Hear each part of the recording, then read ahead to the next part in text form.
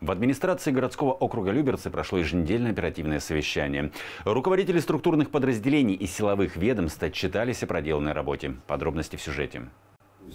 За прошедшую неделю в межмуниципальное управление МВД России Люберецкое поступило 2300 обращений. Возбуждено 17 уголовных дел и произошло 179 ДТП. На совещании также обсудили подготовку округа к новогодним праздникам. Дорожные и жилищно-коммунальные службы к 1 декабря украсят елками и световыми инсталляциями улицы, торговые центры и парки. В городском поселении Люберцы будет размещено в целом а, силами управляющей компании управления ЖКХ 65 елок и проведено 35 праздников дворов. Планируем охватить а, максимальное количество жителей, которые могут участвовать а, в праздничных мероприятиях. Подвели итоги работы Управления транспорта и организации дорожного движения. С января 2023 года руководством транспортных компаний обновлено 197 автобусов различного класса. Всего 736 единиц подвижного состава. Все они готовы к зиме. При подготовке подвижного состава к эксплуатации в зимнее время выполнялись следующие работы.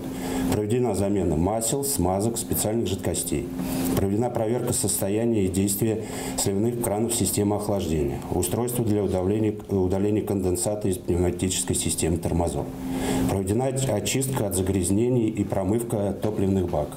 Конце совещания участники ознакомились со спортивными успехами люберчан. Зимние месяцы будут насыщены культурно-массовыми мероприятиями. 1 декабря в парке «Лесная опушка» пройдет первая новогодняя елка. Анастасия Кладинова, Денис Заугольников, Петр Пономаренко. Телеканал ЛРТ.